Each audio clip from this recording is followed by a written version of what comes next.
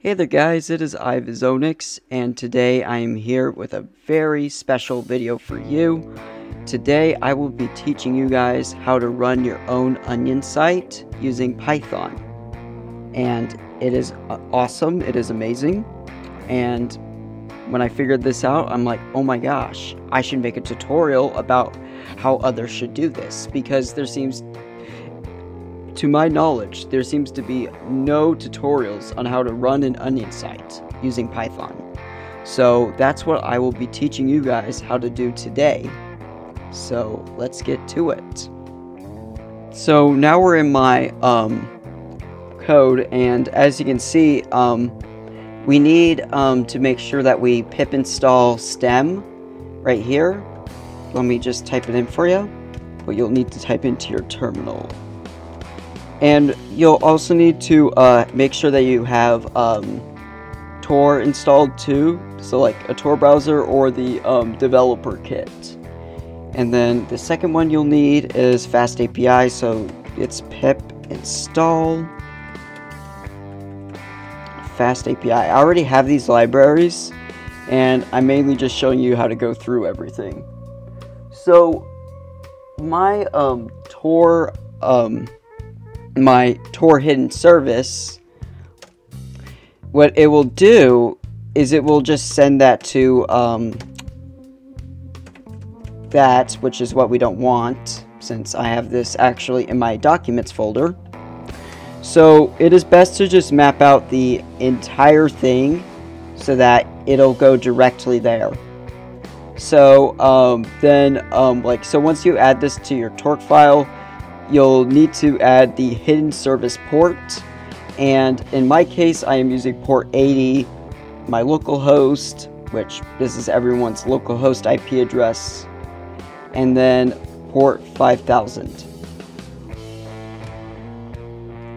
So um, this is what you'll basically need. And sorry if I sound a little ill. Um, I'm actually having really bad allergies today. So, um, you'll need to go to port um, 5000 for, for me that is. But you can pick whatever port you want. Just make sure that um, the ports align. So, like, basically what I'm trying to say here is that um, you need to make sure that your ports match up. And what that will do is it will port forward. So like, um, if we had Fast API open, which we are going to get to, and our local host, which I'm just going to type in localhost, and our port, we want the port and the uh, onion site port to match up because that will port forward it to our onion site. So that's how we do it. So after like we do um, that, we can then um, go straight to um, setting this up. I have this up so that we can activate Tor and um, then we can um, launch our onion site. And as you can see down here, this is my current onion site. Big shocker to everyone. And um, so um, what this will do is it um, will um, set up the controller. And this is after we set up our um, first part which is setting up our Tor client which we need to have um, our Tor path which I actually don't think oh I do. Perfect. You need to make sure that you map out to your Tor exe file so that you can even you know just get there and then, um, another thing too is that Tor may already be up, but I recommend that if this is your first time, that you get rid of this try and accept block. Because there may be problems with your system that you might have to fix before you can just continue on to the next stage. That's what I had to do personally, and it was pretty technical. But it's not too difficult if you know what you're doing. So now um, we um, are going to activate this and I will try and, you know, put this code in the description or somewhere in the future, but for right now, you'll just have to eyeball as much as this as possible. And like I said before, I am I have a really cloggy throat. So I'm trying to go through this as best as possible and as fast as I can. So, um, let's, let's run this actually.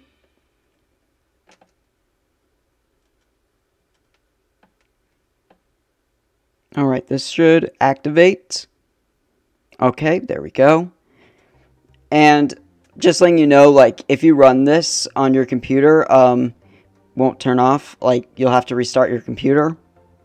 But after you get this up, you do not have to run this again, which is nice. So now um, we are in business. Here's our onion site. And um, we can't just visit it there just yet. We need to load the HTML up. That's why we have Fast API, which is probably the best, um, you know, thing to use for like loading your website and whatnot. Personally, I use it for that. And um, we'll be visiting this onion site in a bit. It's pretty cool. So um, now we need to run um, this line of code right here. And remember that the ports need to match up, otherwise it will not work. So let us do that. And um, we'll get going with that. So let me just paste this in. It's uh, Uvicorn main colon app dash dash host. And then here is our port. Um, before I, you know, run this, you might want to see this uh, source code right here. So um, what this is, is it's um, going to load our home page and it will load my HTML up, which it's pretty cool, honestly. And um, I have AIO files since this part is asynchronous. In fact, all of my um, code right now is asynchronous and um, it will um, load up my HTML um, response. So um, here's the um, stuff and I had some color ideas. That's why you see all these hex numbers here. And um, I have this right here mainly so that way people can't just access my files and with .png. But I did just recently just figure out like just say photos slash and then the photo name. And this is for the HTML to be able to load the um, stuff for the site. It's mainly just for the loading the images. So um, now without further ado, let us um, run this. So I didn't explain before, um, you know, just how um, amazing a Onion site can be. It will um, hide your IP address if you know what you're doing, and um, it's really good for like getting around things like censorship and all the all that other horrible stuff that comes with just running a normal site. So, um, here's my Onion site. Let us go to it. See what's on it. This is exciting. So now, um, we need this to load, and then I will get back to you guys when I enter in my stuff. Okay, so I'm here now. Um, Took a while to load, but we made it. Alright. Here we are. That is amazing, by the way. Okay, let us visit my website. Or should I say, onion site. You know, not all of Tor is the dark web. Like, there's some, you know, clean websites out there. Just be careful with what you look up when it comes to um, onion sites. So here's my incomplete website, as you can see. I made this myself.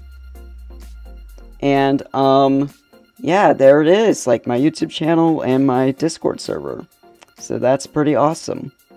Oh, and down here I also uh, decided to um, give my Monero wallet as well for anyone that wants to support me and my videos. So yeah, that is how I got it to load. And the nice thing is, like, it's not too difficult, like I said before, like, if you know what you're doing. And, yeah, to get into some more, like, basic details, like, this is, like, how it, you know, relays fr from, um, the guard node to, um, the exit node, and then it does the same thing for my side. And that's how, um, we get to the onion site. Anyways, I hope you liked this little uh, tutorial on, you know, how to run a onion site completely with Python. And be sure to like, share, and subscribe, and I will see you all in the next video. I cannot guarantee, though, that I will have this onion site up 24-7, but hopefully in the future, if I do get a Raspberry Pi or something, like, we can make it happen. So, hopefully, if you know the chip shortage goes away, I'll be able to run the site for you guys 24 7. So, that is it. I will see you now all in the next video. Bye.